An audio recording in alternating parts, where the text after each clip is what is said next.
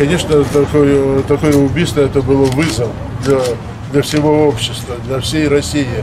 Поэтому я сказал, вот когда спрашивали, э, сказал, что решение присяжных это будет знаковым для, для движения общества в России.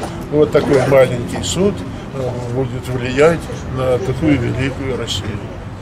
Действительно, может быть, она не зря умерла, что больше, может быть, не будет таких случаев, или хотя бы меньше. Ведь убийств в России очень много.